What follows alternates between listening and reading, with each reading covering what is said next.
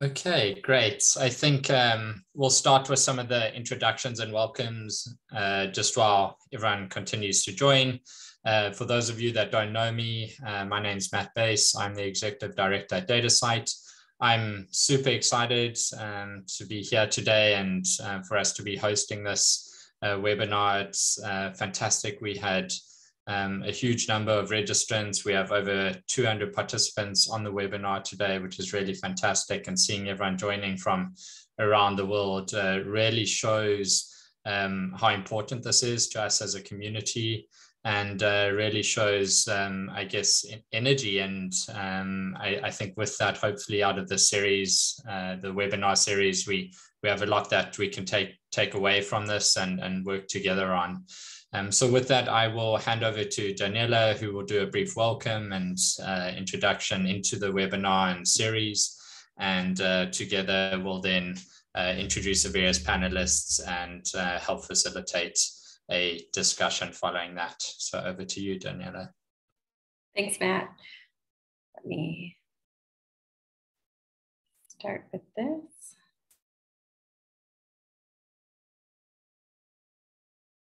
Great. Um, all right. Well, hello, everyone. For those who I don't know, my name is Daniella Lowenberg, and I'm based at the California Digital Library at University of California. And in one of my roles, I run the Make Data Count initiative. And I'm thrilled with the amount of people that have shown interest in this. And I think the amount of people that have shown interest is enough to reiterate the importance of the topic. And so I want to give a brief overview of Make Data Count and our perspective on data citations some quick housekeeping. Um, we will do all questions through Q&A. So if you don't mind using the Q&A function for that, um, send questions throughout. We're gonna have plenty of time for discussion. Also, feel free to use chat. I know in webinar functionality, it's hard to not engage, um, but just be mindful during speaker presentations as it can be really distracting and take away from what the speaker's saying. Um, so be mindful of that. And then feel free to use Twitter at Make Data Count or at DataCite, especially in follow-up, so we can follow up with you, especially for questions and feedback. So Make Data Count is a scholarly change initiative focused on the development of open research data metrics. In the dark blue, you can see what we do. We build and we advocate. So we're made up of organizations like DataCite, Crossref, CDL, DataONE, um, and others, other infrastructure organizations. We also contextualize. So we have a team of bibliometricians studying researcher behavior around data reuse. In teal, you can see what our values are, which were rooted in transparency, responsibility, um, and open ways for approaching research data metrics, which is at our core and, and why we're here. So to clarify again, as sometimes this can be a little confusing, Make Data Count is an overarching initiative and we're made up of a collective of organizations and individuals invested in the development of research data metrics. There are standards you may have heard of, like SCHOLIX and the Counter of Practice for Research Data that some of us have built and been involved in. We use those as frameworks for open data usage and data citation infrastructure. So we see the development of open research data metrics as a journey.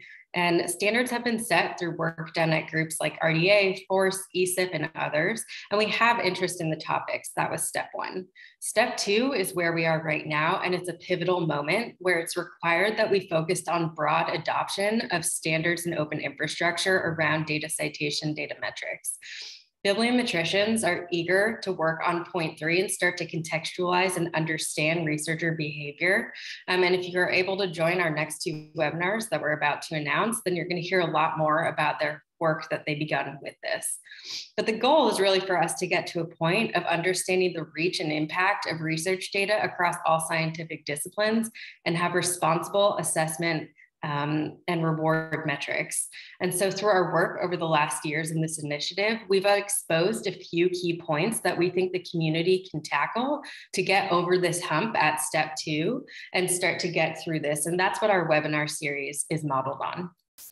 So why aren't we there yet? Well, today we're specifically focused on data citations, which is this first hurdle. And so keeping that in mind, it appears that there seems to be an attitude of let's wait until everything is absolutely perfect until we get started, um, especially for all use cases and all complexities.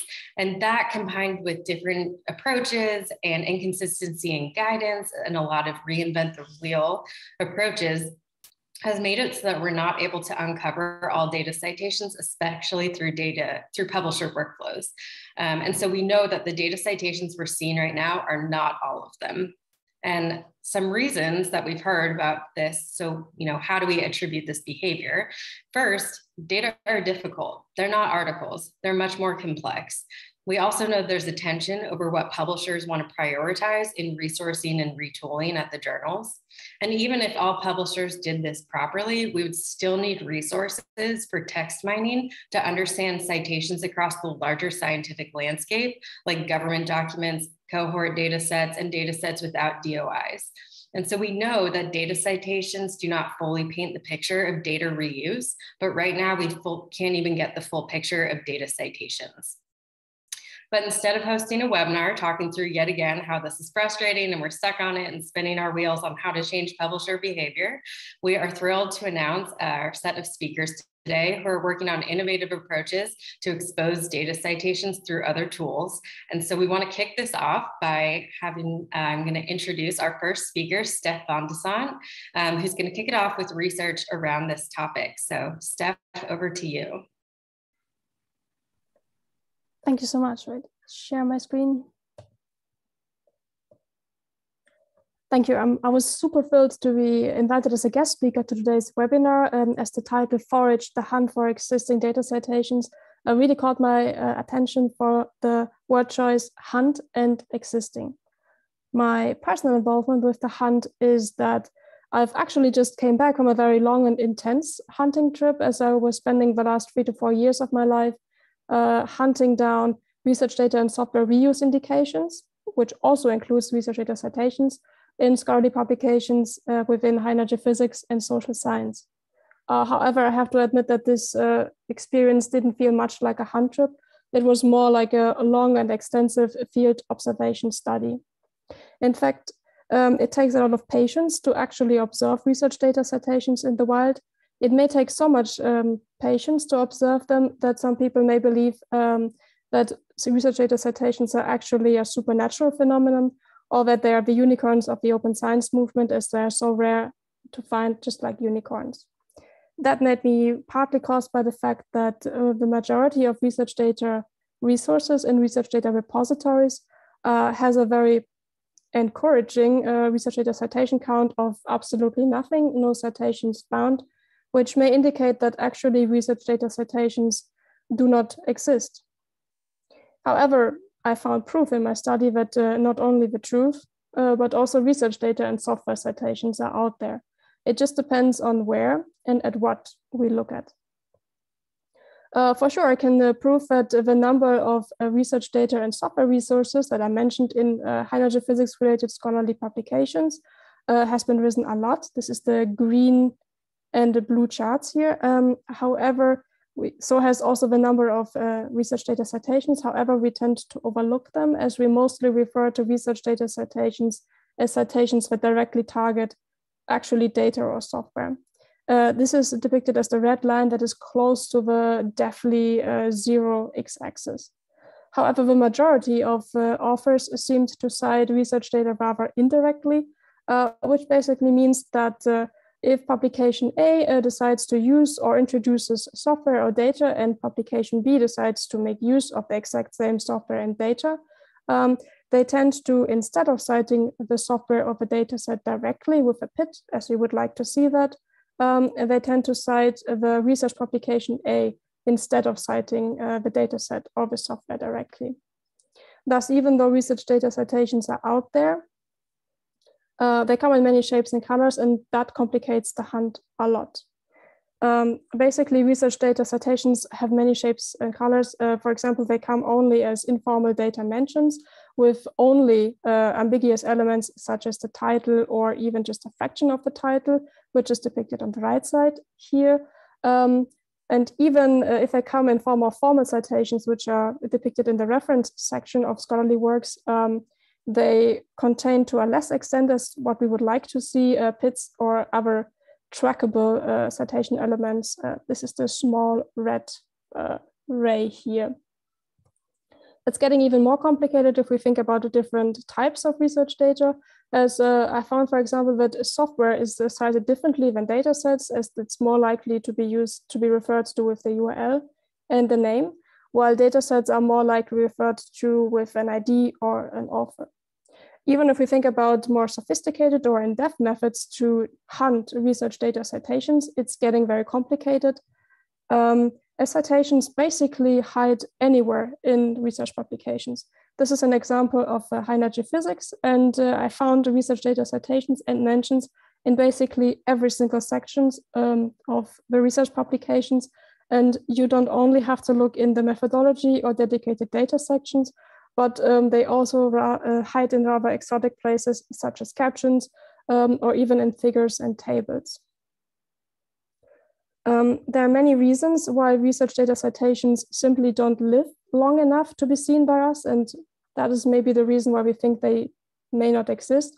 Um, it starts with the conception phase, uh, where actually most of the citations don't even make it to the light of this world due to an unawareness of the authors or to a lack of PIDs maybe for software or data. During the writing phase, um, many authors produce idiosyncratic or hard to track citations due to a practice of informal mentions, um, community specific practices, which also includes a huge variety of pits. Um, even those public uh, citations that make it thus far um, have a tendency to vanish during the publication process as uh, data citations are prone to be deleted during the publication workflow uh, or only make it as incorrect or ambiguous citations out of there, which are hard to track later. Our metrics may be based on misleading citations, which makes it even more difficult, uh, as there's a citation dilution across multiple citation targets, such as uh, data papers, the dataset itself, or related research publications. Um, some authors may miss out to update their latest BibTeX file to the latest version of the dataset they used. Um, and some uh, research data citation counts may be just splintered across multiple software or data versions. In that sense, there's a lot of work and the hunt is not easy, but on a more positive note, now that you know that research data citations actually exist, um, I wish you happy hunting and thank you for listening. Thank you very much, um, Steph. And I think it's uh, very difficult to get it into that amount of time and, and all the work that you've done. It was great to hear. Um, that was 250 pages now in five minutes. very, very, very well done. Um, we'll move um, right into the next um, panelist. And so I'll um, introduce Carly Robinson from Department of Energy OSTI um, to talk a bit about the work that they're doing and, and share a bit about a bit more about the tools and processes that they have in place. Great, thank you. Um, again, Carly Robinson from the U.S. Department of Energy's Office of Scientific and Technical Information, or DOE OSTI. Um, so the mission of our office is to collect, preserve, and disseminate um, Department of Energy funded research results. And as part of kind of implementing that mission, we use persistent identifiers, um, both assigning but also kind of connecting them within the metadata that's submitted to our office with those research results. Um, so to enable that, we um, are members of you know, the various persistent identifier organizations, DataCite, Crossref, ORCID, um, leading both DataCite and ORCID consortia. And also a part of our mission space is to curate that metadata that is submitted to um, our office to make it as kind of high quality and useful to the general public as possible. And so um, this metadata curation works in, work includes looking for and adding related identifiers such as you know data set citations into the metadata that we have. Um, and we're fortunate enough to have a team of about um, 10 information scientists who work, are working on that metadata curation. So to kind of go specifically into capturing um, those related identifiers or specifically data citation um, uh, related identifiers, we get those from a couple of different sources. Um, one of the main sources, which is really exciting, we've seen more of this in recent years, is directly from the, the data creators or the data repositories that are actually providing um, the, the metadata to OSTI for those data records. So they're starting to add in those data citations that they know about, the related identifiers that they know about, um, and including that in the metadata they submit to us. And then that metadata is registered with those data set DOIs. Well, we also have um, historically gotten that information from other sources as well, um, primarily the Scholix API. Um, so basically what, what we would do um, is kind of run those data set DOIs through the Scholix API to find those relationships, um, including data citations and add that into the metadata that we have. And so we've been doing, we had been doing that for a number of years. Um, you know, kind of historically, the reason that we were doing that is you know this the data citations or the additional related identifiers were not necessarily being added by the data creators or data repositories. And so we wanted to try to help provide that information. And so we were working to add that in. Um, we've we've learned a lot since then. Um, and you know a lot more of the data creators and repositories are adding in these related identifiers and um, data citation. So um, we've actually kind of paused adding um, in the Scholix relationships at this point. Um, we found some inconsistencies about what the data creators and repositories were providing and um, some of what we had were finding from, from those other sources. And so we're working to develop processes now to kind of better understand um, why there might be differences. I think some of it is just, you know, even though those related identifiers or identifying data citations might seem um, easy to do, it, it's actually challenging and kind of calling the, the same you know the same relationships the same thing. Um, sometimes you know different people call them different things. And so kind of working to make that a little bit more consistent and so one of the things that we're doing is we're redeveloping our um, ingest tool for collecting the metadata and research outputs that DOE funds. And with that redevelopment, we're working to um, better understand the sources of the related identifiers and data citations. So, you know, is the source coming, is, is the source directly the data repository or is the source Scholix or, you know, some other outside source? Um, and also to um, kind of have conversations with our community about what um, related identifiers and data, you know, data citations we actually add back into the DOI um, metadata, because ideally this would all be kind of collected within the associated, uh, the metadata associated with the DOI, but we, we wanna make sure that what we're adding is correct. Um, and so that's one of the things that we're working on. Um, so I, I think I will stop there, um, but looking forward to the discussion. Thanks. Thanks, Carly, and a, a, lot of work that has happened, and I think also, um, you know, provide some sort of excitement or sort of um, um, interest in the next series when we uh, next webinar in the series about exploring these citations and some of the work that's coming out of or things that are coming out of the work that you've been doing, um, which is really exciting. Um, moving on to the next panelist, um, I will introduce uh, Silvio Peroni from Open Citations to talk about um, the various um, activities um, at Open Citations. So Silvio, over to you. Thank you, Matt. I, I just let me share uh, my screen because I have a couple of slides that I hope now you can see full screen. Okay, yes. great. Uh, welcome all. Thank you for inviting me in this uh, wonderful uh, webinar. I'm open. I'm Silvio Peroni. I work at the University of Bologna as associate professor, and I'm director of Open Citations. And I will very briefly introduce what Open Citation does and uh, how we can help basically to make uh, metrics and the workflow to uh, obtain metrics more transparent by using our data.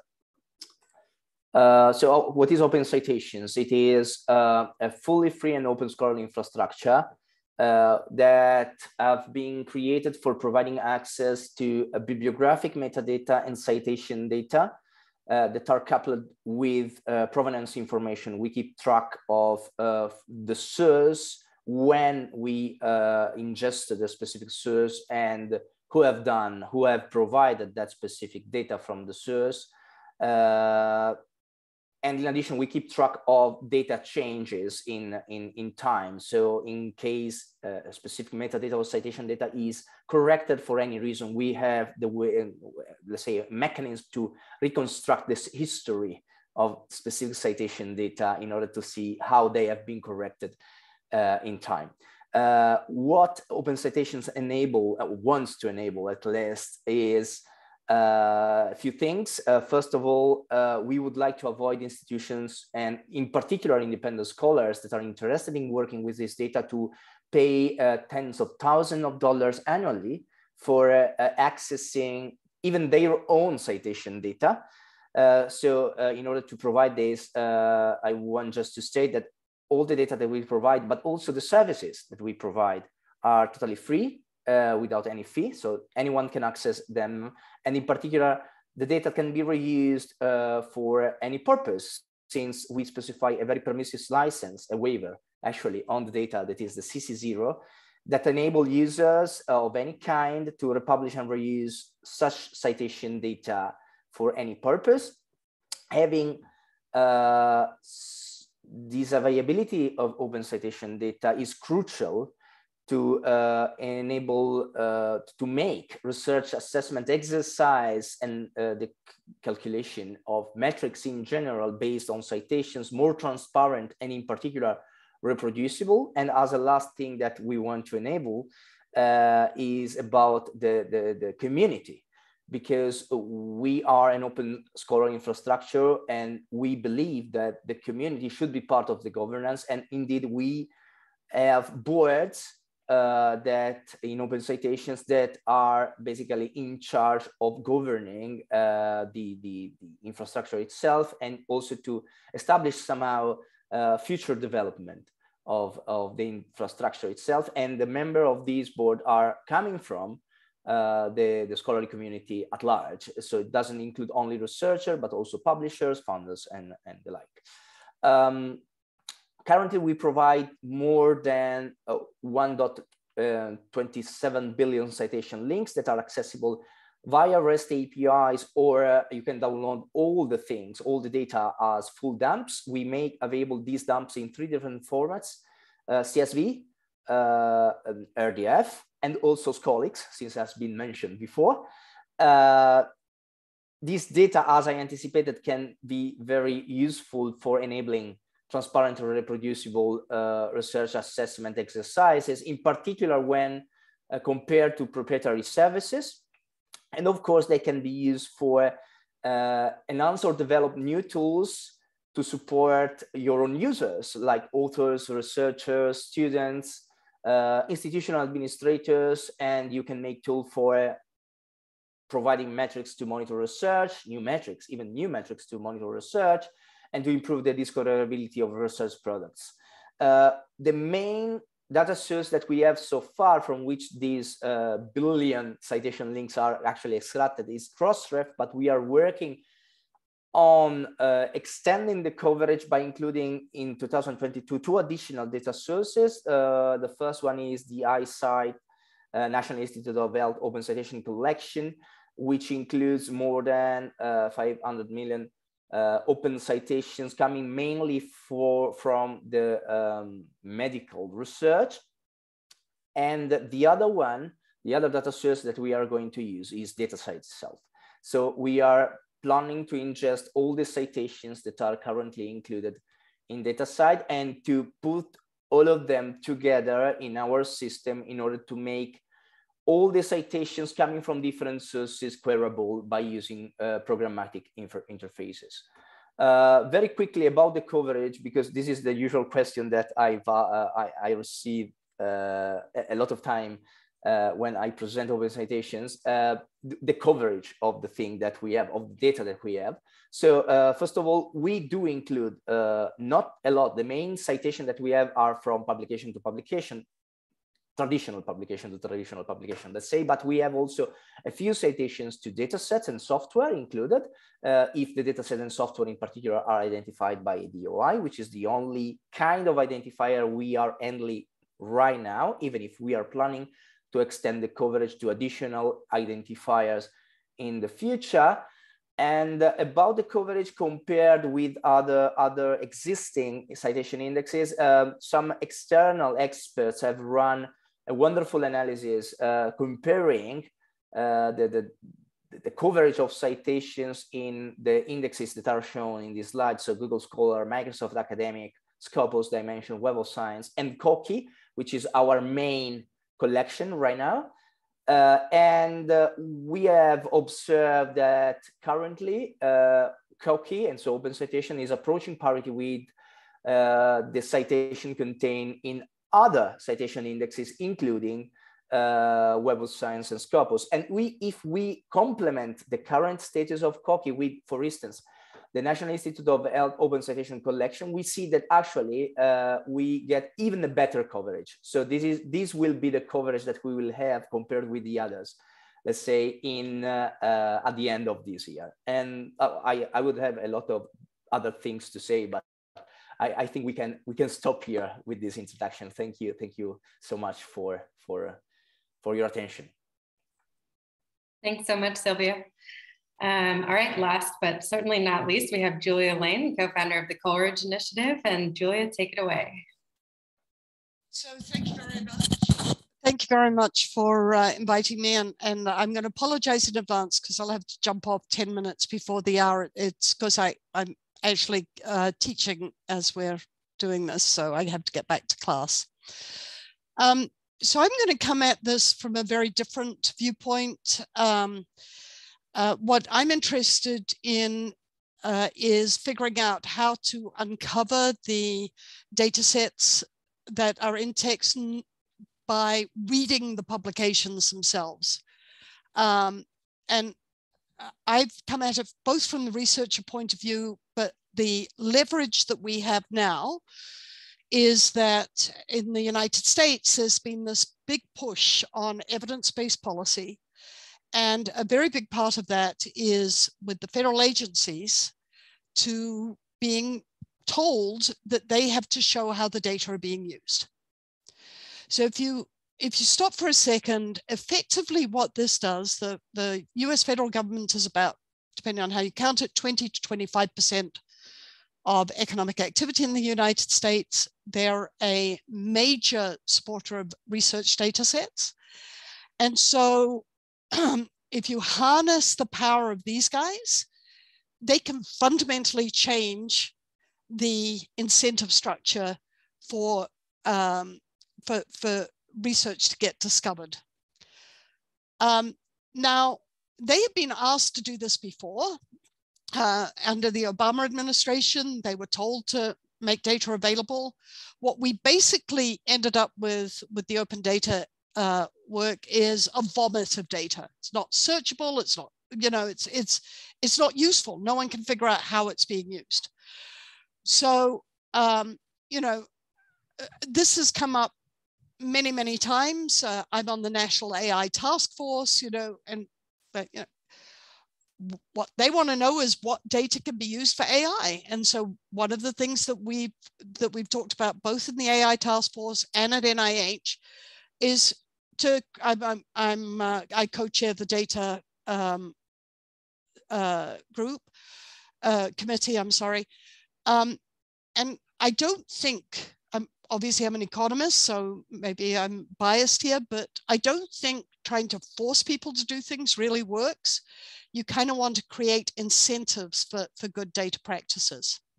And you know, despite all the wonderful work that people have been doing in getting data sets to um, get people to, to cite using DOIs, this is an example of NASA, which is a major, major data producing agency, as you can imagine. Um, they're trying to respond to the Evidence Act that I just showed you. So they thought, okay, well, let's see if we can find data sets from by using the DOI. They manually read 100 publications, took them about 14 hours. And, um, you know, as you can see, there are very, very few data citations. And I'm just going to repeat, people don't do it because there is no incentive to do so. So how can we, how can we change that conversation? And it's like uh, when I had a two year old boy and I told him to clean his room, and I'd say, Go clean your room. He wouldn't clean his room. But when I put a sticker up on the fridge, every time, every day, he cleaned his room. And then if he got 10 stickers, he could go out and buy something, he cleaned his room. So what I'm going to argue is that what we want to do is instead of describing data by how they're produced, what we want to encourage people to do, this is NOAA data, this is a very important data set at NOAA that is not being, um, the usage of which is not captured to the degree that they'd like. Instead of putting up data by, like in the open data, this vomit of information about how it's produced, you know, imagine building an Amazon.com for data. No one forces people to document this. It's it is community curated. So how are we going to do that? Well, the first step is we've got to find the data not by looking at public at the citations. We know they're not there. Um, just actually read the publications and find out what data sets are being cited. Uh, this is an example, uh, but I'm as guilty of this as anyone. I produce many data sets of my time. I never cite them in my references, nor do other disciplines. But you can tell by looking at this publication what the data set name is, how it's being used. So why don't we use machine learning and natural language processing uh, approaches to see if you can automate that. So then you can find the data sets in the publications without forcing people to cite them. You could then also down the road start rewarding them for citing it to make it easier, but we don't have to do that out of the gate. So we ran a Kaggle competition. Uh, we had 1,600 teams. Um, the three winners, uh, uh, you can see what they use very different approaches. If you go onto our Show Us the Data Coleridge Initiative website, you can see more about the ML uh, methods. But effectively, what that enables you to do is to create a publication to dataset dyad. So as soon as you've got the data set, you've got the publication, and then you're able to document and respond to the Evidence Act and show how data are being used. So this is the slosh data, and you can see that we're able then to pull out the topics that are being used.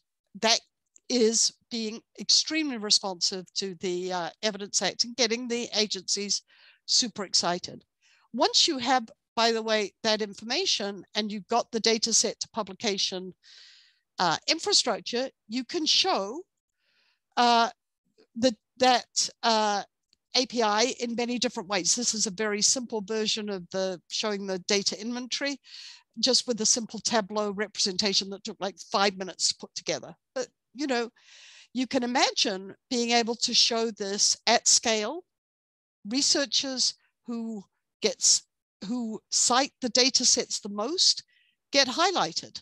So you've got the incentive structure set up here because you're seeing, oh, I'm showing up as the top cited author and the journals have the same, same um, uh, incentive structure. So we've been working with a bunch of uh, agencies uh, and with the Texas Advanced Computing Center to um, institutionalize this. We can do it. Uh, so we're building an API that is based on that set of data set to publication dyad. Uh, and then that enables you to pull in and create administrator dashboards, data inventories, leaderboards automatically. We can do any representation that a, an institution or that a researcher or that a, a government agency wants to do or a federally funded research or federally supported uh, data repository like Dryad, for example. So here's basically the idea. You can show by use, you can show how things are put together and, and, and what the value proposition is. This piece is forthcoming in the Harvard Data Science Review, and obviously we are very grateful to our funders. So I'll stop there. Thanks so much, Julia. Um, knowing that you have to go, we there's two questions actually specifically for you that we can ask real quick before Matt and I go through some others. Um, but we got two for you. One saying, um, is a quote, close reading quote of a set of articles the most robust way to get a true picture of how many authors are sharing their data? That seems like what the NASA study did. Uh, no, it is articles that are referencing the data set. It's not they're not sharing it. Um, but that is the article of referencing. Oh, I see where they're heading. Yeah, so the basic idea here is that if I produce a data set, right now I have no incentive to share it, right? It's only a problem.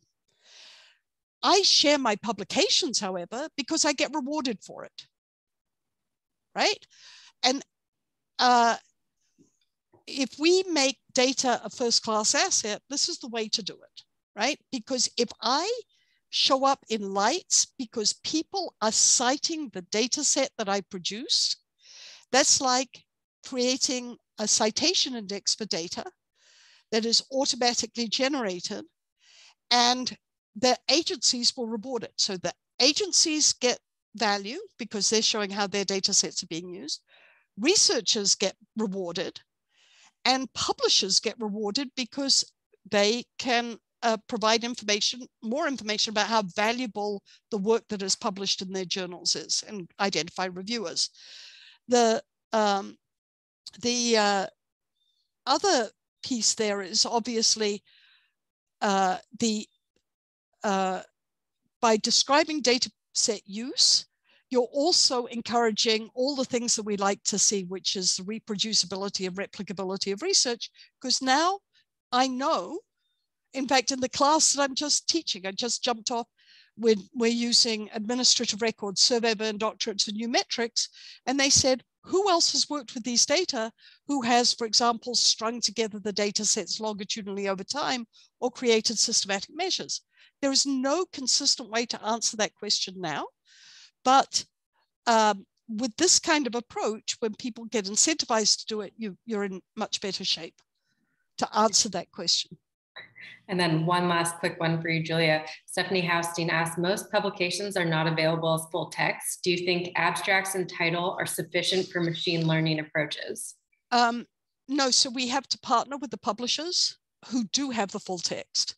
So um, we started off partnering with Chorus, which had some full text uh, information. The problem is, and Howard's very open about this, is not particularly well curated because it's open source. Um, so what we've been doing is partnering with Elsevier because they have full text uh, information um, that, that you could do. And then what you could do is with the machine learning approach, it outputs the, uh, the rich metadata that is associated with the publication. You don't need to have access to the text. Uh, you just need the metadata that gets pumped out seems like a, a, lot of the work that Silvio and, and, others are doing to expose this metadata. That um, would be fantastic. That's right. So that was awesome. Those were a set of awesome presentations.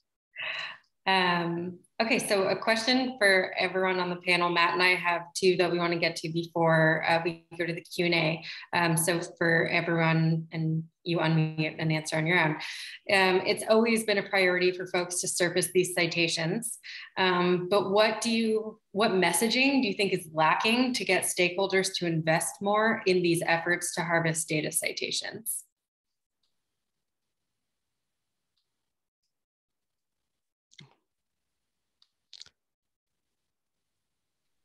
Go for it, Carly.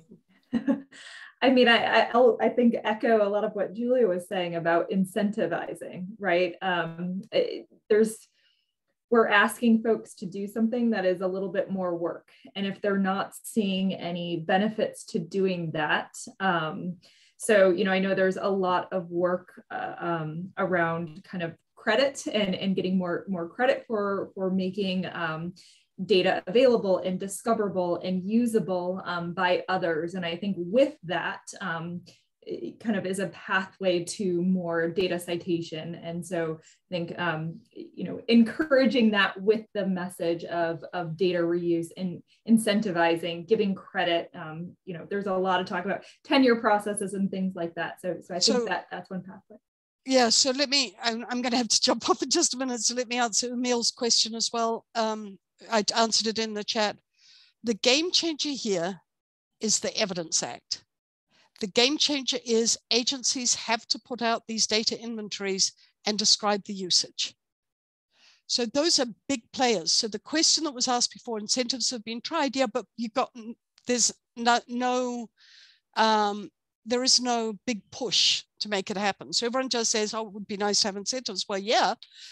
Um, what we have here is the ability to do it, the ability to put up these usage statistics, and that's that's where we're going to, the machine learning approaches are going to do it. Sorry. No, Silvio, go for it. Um, yeah, uh, just my personal experience in that because um, the point to push to convince actually a researcher to put data citation in their own paper it's to me is uh, along the lines of what have been already said but is a, a matter of reward uh, uh, i mean as far as it works in italy at least uh, we are uh, assessed at the national level as a researcher for the publication that we write and the citation that we receive that doesn't happen with data at all. Even if publication are made, are, are, are just a narrative around the data that we have obtained. So the real part of the real work is actually to get this data, to analyze this data and to uh, come up with you know, evidence from the data itself, but the data are not re rewarded at all. So to me, one important point among the others to be addressed is also at uh, the, uh, the say institutional level and even at the government level that it is important that the, the, the, the, the agency that do this kind of assessment recognize the fact that today there are not only traditional publication out there, there is a lot of effort spent in doing other things that are crucial for research, that are data sets, that are software development, and all these kind of things. And this stuff must be evaluated, must, must be taken into consideration in the curriculum of researchers, similarly to what happens for traditional publications. That is a crucial point to convince, first of all, researcher to cite data, not only other publications to me at least.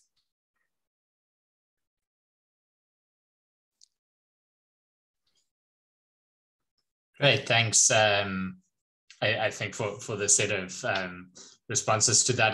Another, um, I guess, area that we were thinking about, and then we'll also go to come back to some of the Q and A, um, is that we often hear that we need to wait for things to be perfect, and this requires multiple stakeholders across the ecosystem to be involved. And so, part of this is well, we're all looking at other stakeholders to make movements or, or make things better. Um, but it really requires this collective community effort, all of us to make incremental contributions to improve this ecosystem as a whole. And so, um, I, I guess what's how do we keep the community engaged and moving this forwards um, across stakeholders and just interested to hear thoughts from the panelists um, in relation to that.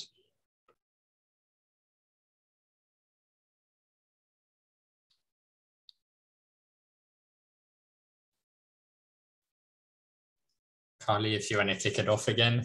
sure. I keep waiting for others um, if they want to kick it off. But, um, you know, it, I think webinars like this are just incredibly um, helpful to kind of keep the community. I know that um, you know DataCite has has webinar series and, and has community meetings, and I think that's really important. Um, the you know person the um, oh gosh, Matt, what is it? The the persistent identifier um, kind of group that NISO runs, um, the, the kind of message board, I think is a, is a great place to have these conversations. If anyone the PID forum. There. Thank you. Yeah.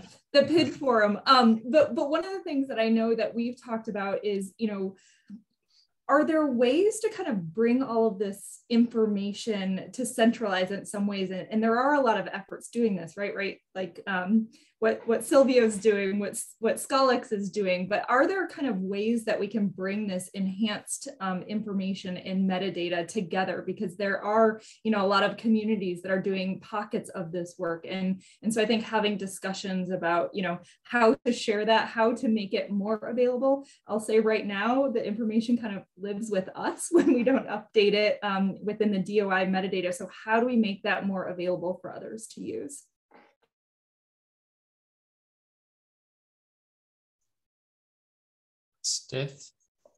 Um, I think community work is definitely important because, um, as I observed, that every community has a very specific uh, citation practice and uh, practice publishing practice. So basically, it is not possible for one service like DataCite or Crossref to harvest all of the citations because there's no method to harvest all of the citations from different disciplines. While there's services like uh, um, in the social science, for example, there's ICPSR, which is a repository which is very specialized in finding social science related research dissertations, and they have a huge um, uh, effort involved, and they're very specialized, and they find a lot of citations. So if that would be happening in a lot of communities, and we have a lot of island solutions which are very specialized but very good.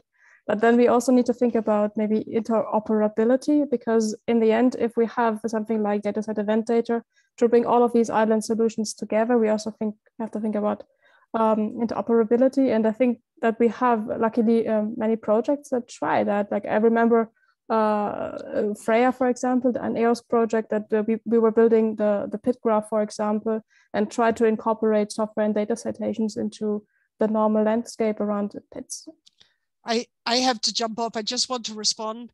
ICPSR does precisely what you don't want to do. You, they have three people who are reading publications to pull out the data sets and they only pull out the data sets that are in their repository.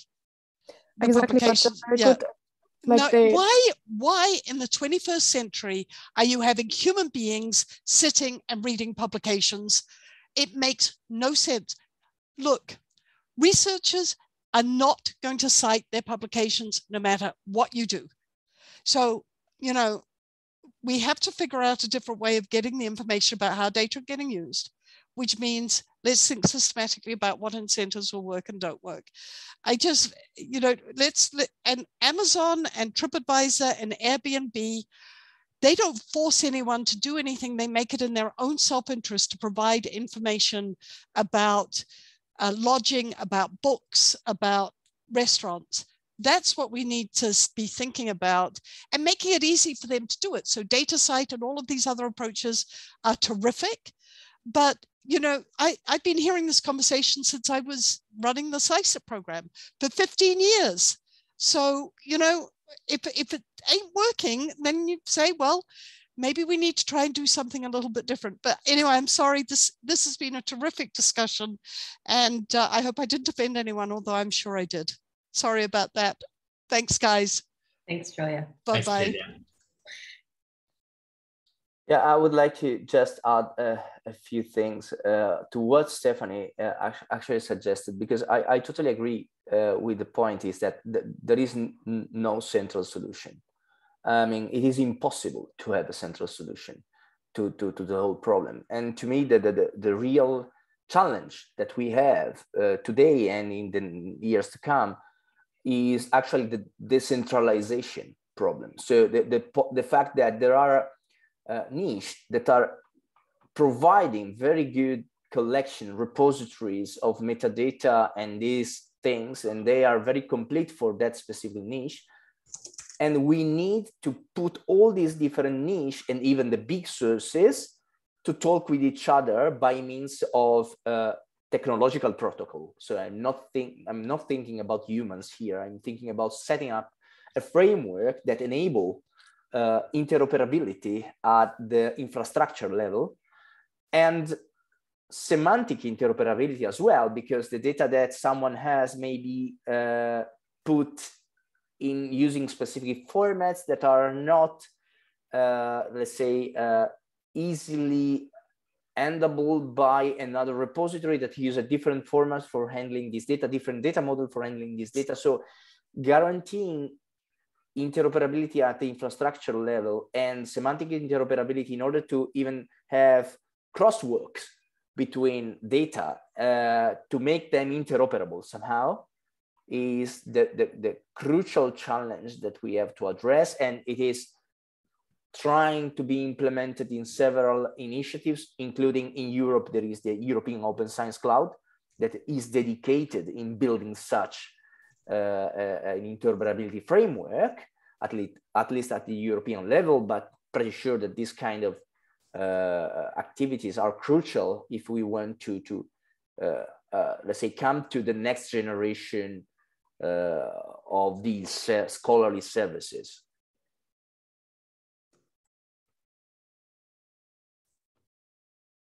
Great, thanks. Um, I think um, great to have um, a few um, few different um, perspectives there and, and sharing about the way forwards. And there's a few um, specific questions in the Q&A and um, uh, we'll, we'll try um, take these off and also make sure that we get back to everyone on all of these. I don't think we'll be able to get back to all of them.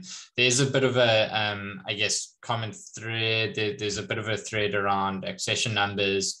Um, and maybe actually I'll put that to Daniella um, just from the make data count point of view and um, working with um, the various stakeholder, stakeholders yeah, I think that we're seeing all these questions come in from accession numbers and other sources of PIDs for data. And I think that's exactly why we're hosting this webinar today is, um, you know, as provocative as Julia is, is exactly what she said. We aren't finding what we need to find and we can't scale by saying that we're gonna have humans at every organization that are gonna find all of these, especially if they're ignoring things like accession numbers. So this is really to say we need to find and expand better ways for us to be able to grab, scrape, and aggregate into a central location all of these. And so it'd be great for NIH and EBI um, to you know to be thinking with us how we can actually do this as opposed to saying DOI is the only way, which maybe some of us believe it wouldn't account for everything in the past.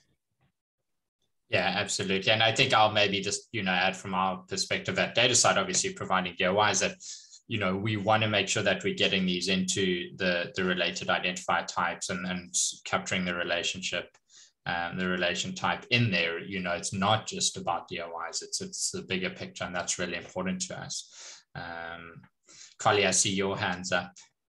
Maybe just to add to that, as, as you said, kind of adding these relationships into the DOI metadata, I think is so important. But one of the challenges there is a lot of people are finding these relationships and they don't have control of the DOI metadata. And so, you know, what systems can be put in place to try to somehow connect it with the DOI if you don't actually have control of that metadata? Yeah, and this is, I, I think, Kylie, also getting to some of the conversations that we've had around, well, how do we, you know, allow for an open framework to to make these claims about relationships between two things that maybe you're not necessarily the the owner or the registrar of that specific identifier in the metadata. And so we could surface those as well. And i think there's yeah there's a few things that we we have um, underway in different activities that could at least help us make some progress um, on that in in the nearer term so Matt, before we, I think we have one last question we want to ask everyone, but before folks drop off, we are very excited to share um, that we are now announcing our second webinar in the series, Explore the Need for an Open Classification System. We are thrilled about the speakers that we have for this on April 7th. We hope you all can join. Um, Paul's going to put into chat right now a registration link. We will also tweet it out, um, but register now. And this is going to be a, a discussion to talk about um, a broader need, even beyond data, for an open classification system spurred by the work by Stephanie Haustein and her team um, trying to look at data reuse across disciplines. Um, so we're very thrilled, wanted to make sure everyone sees this, link in chat, please register. Um, and I think, Matt, we have one last question for the panelists before we log off, yeah? Yeah, so we'd love to hear from you, um, each of you. Do you have a specific message or a specific ask for the attendees today?